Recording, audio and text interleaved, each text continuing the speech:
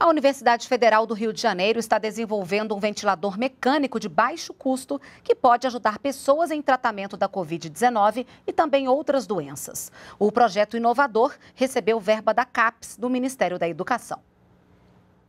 O preço de um ventilador mecânico importado pode chegar a 50 mil reais. Para reduzir esse valor, pesquisadores da Universidade Federal do Rio de Janeiro desenvolvem um equipamento de baixo custo, que pode ser fabricado por menos de mil reais aqui no Brasil, com tecnologia nacional. A ideia sempre foi um ventilador que fosse construído rapidamente, com um custo mais acessível, para que ele pudesse atender as primeiras necessidades de uma emergência. O pós-doutorando conta que os testes foram bem sucedidos em pacientes internados em UTIs no Rio de Janeiro.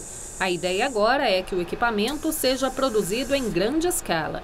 É um projeto que está pronto para novas emergências que possam acontecer. Além de ser uma alternativa aos ventiladores que existem no mercado para o tratamento da Covid-19, o ventilador mecânico de baixo custo pode ser utilizado futuramente na telemedicina para monitorar o paciente à distância. O paciente não tem, não tem necessidade de ficar no hospital, fica em casa, mas a gente pode, colocando equipamentos de relativamente baixo custo, acompanhar a situação desse paciente e se perceber alguma, algum agravamento, a gente poder atendê-lo é, precocemente. Né? O projeto conta com 120 mil reais de financiamento do Programa de Combate a Epidemias da CAPES. Esse edital nos trouxe uma a oportunidade da gente ter algum financiamento, principalmente de, de recursos humanos, para a gente continuar o desenvolvimento desse ventilador e obter um equipamento pleno